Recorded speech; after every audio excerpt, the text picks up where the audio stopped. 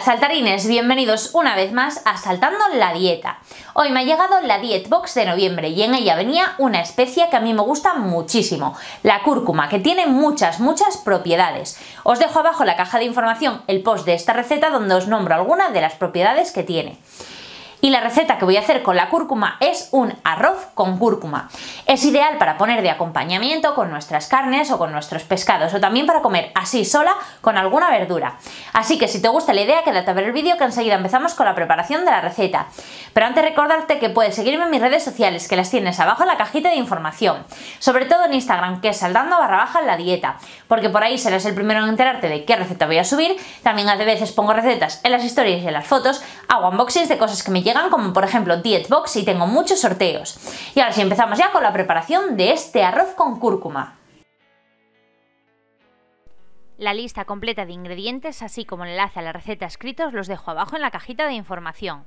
Lo primero que vamos a hacer es echar un buen chorro de aceite de oliva en una olla y cuando esté caliente vamos a añadir media cebolla picada. Vamos a dejar que se haga a fuego medio, echándole primero un poquito de sal hasta que la cebolla se haya dorado. La cantidad de ingredientes que os voy a dar es para dos personas, pero podéis hacer perfectamente doblando cantidades para cuatro, para seis, para los que queráis. Cuando la cebolla se haya dorado, vamos a añadir un cuarto de cucharadita de jengibre molido o también podéis echar un poco de jengibre fresco. Después vamos a coger la cúrcuma y vamos a añadir una cucharadita no muy colmada. Cuando hayamos añadido las dos especias, vamos a remover bien para que se mezclen con la cebolla y el aceite. Y vamos a dejar que se haga todo durante unos dos minutos antes de añadir, de añadir el arroz. Ahora vamos a echar 160 gramos de arroz de grano largo, es decir, unos 80 gramos por persona, para que sepáis más o menos cuánto tenéis que echar para 3, para 4, para 5, para los que seáis. Mezclamos bien el arroz con la cúrcuma, el aceite, el jengibre y la cebolla. Y cuando veamos que está bien empapadita, vamos a empezar a echar poco a poco el agua. La cantidad de agua que hay que echar es el doble del volumen del arroz. Es decir, si la cantidad de arroz os ocupó un vaso, entonces de agua le vamos a echar dos vasos.